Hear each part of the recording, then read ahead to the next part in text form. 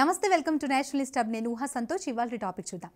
ఐక్యరాజ్య సమితి భద్రతా మండలిలో జరుగుతున్న సమావేశాల్లో భారత విదేశాంగ మంత్రి జయశంకర్ అటు రష్యా ఇటు చైనాలను ఏకిపారేశారు. మొహమాటం లేకుండా ఇరు దేశాలు అనుసరిస్తున్న తీరును ఎండగట్టేశారు. విదేశాంగ విధానంలో భారత వైఖరిని భద్రతా మండలిలో మరోసారి తేల్చి చెప్పారు. రష్యా ఉక్రెయిన్ యుద్ధం జరుగుతుండగా భారత్ తన వైఖరిని మరోసారి స్పష్టం చేసింది. ఇటీవల ప్రధాని మోదీ చేసిన వ్యాఖ్యలను భద్రతా మండలిలో మరోసారి గుర్తు చేశారు జైశంకర్ ఇది యుద్ధం చేసే శతాబ్దం కాదని ఏ సమస్యనైనా శాంతియుతంగానే పరిష్కరించుకోవాలని గుర్తు చేశారు. దీంతో పాటు ఎంతటి యుద్ధ పరిస్థితుల్లోనైనా మానవ హక్కులను హరిస్తే భారత్ సహించదని పరోక్షంగా రష్యా ఉక్రెయిన్లను హెచ్చరించారు. యుద్ధం పేరుతో సామాన్యులను బలి తీసుకోవడం మంచిది కాదని జయశంకర్ వ్యాఖ్యానించారు. ఇటువంటి ఘటనలు ఎక్కడ జరిగినా స్వతంత్రంగా దర్యాప్తు చేయడం అత్యవసరమన్న జైశంకర్ బుచా మారణకాండకు కూడా భారత్ ఈ కారణంతోనే మద్దతిచ్చిందని భద్రతా మండలి వేదికగా తేల్చి చెప్పేశారు. బుచా మారణకాండను ప్రపంచ దేశాలు హర్షించవన్న జైశంకర్ దీనికి కారణమైన వారిని కఠినంగా శిక్షించాలి అనే భావనతోనే ఈ ఘటనపై స్వతంత్ర దర్యాప్తుకు భారత్ మద్దతిచ్చిందని తేల్చి చెప్పారు. దీంతో పాటు ఉక్రెయిన్ విషయంపై కూడా తీవ్ర ఆందోళన వ్యక్తం చేశారు. ఈ యుద్ధం పట్ల ప్రపంచ దేశాలు ప్రత్యేకంగా దృష్టి సారించాలని జయశంకర్ కోరారు. ఇదే ప్రసంగంలో అటు చైనా వైఖరిని కూడా పరోక్షంగా ఎండగట్టారు జయశంకర్.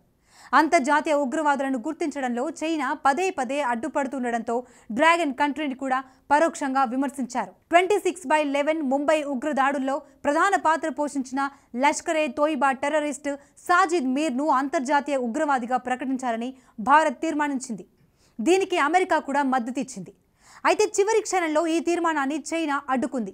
దీంతో పాటు ఆగస్టు నెలలో జైషే మహమ్మద్ చీఫ్ మసూద్ అజార్ సోదరుడు అబ్దుల్ రవూఫ్ అజార్ను బ్లాక్ లిస్ట్లో చేర్చడానికి అమెరికా భారత్ ప్రయత్నించగా దీనికి కూడా చైనా అడ్డుపడింది. దీంతో పాటు పాకిస్తాన్ టెర్రరిస్ట్ అబ్దుల్ రెహమాన్ మక్కీని కూడా ఐక్యరాజ్య సమితి ఆంక్షల జాబితాలో చేర్చాలని ప్రయత్నించినప్పటికీ డ్రాగన్ కంట్రీ అడ్డుకుంది. ఈ విధంగా భారత్ ప్రయత్నాలను చైనా తన వీటో అధికారంతో పదే పదే అడ్డుకుంటుండటంతో భారత్ చైనాను పరోక్షంగా విమర్శించింది.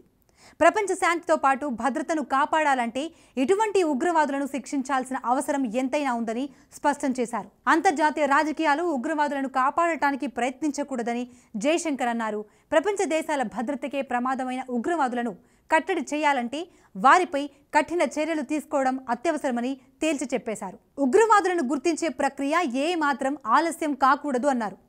అయితే ఈ విధంగా ఉగ్రవాదులను గుర్తించడాన్ని కొన్ని దేశాలు అడ్డుకోవడం విచారకరమని జయశంకర్ అన్నారు. ఈ విధంగా ఆలస్యమైతే అది ఉగ్రవాదులను ఏమీ చేయలేరనే తప్పుడు సంకేతం తీసుకువెళ్తుందని జయశంకర్ భద్రతా మండలితో తేల్చి చెప్పారు. దీంతో అటు రష్యా ఇటు చైనాకు భారత్ తన వైఖరిని ఏమాత్రం మొహమాటం లేకుండా చెప్పినట్లయింది. ఒకప్పుడు తాము ఏం చేసినా భారత్ వంటి దేశాలు ప్రశ్నించలేవనే భావనలో ప్రపంచ దేశాలు ఉండేవి. అయితే ఇప్పుడు ఒకనాటి భారతం కాదని ప్రపంచ దేశాలు ఏం చేసినా చూస్తూ ఉండిపోయే విధానంలో చాలా మార్పు వచ్చిందని జయశంకర్ ప్రసంగం బట్టి ఆయా దేశాలు అర్థం చేసుకోవాల్సిన అవసరం ఉంది.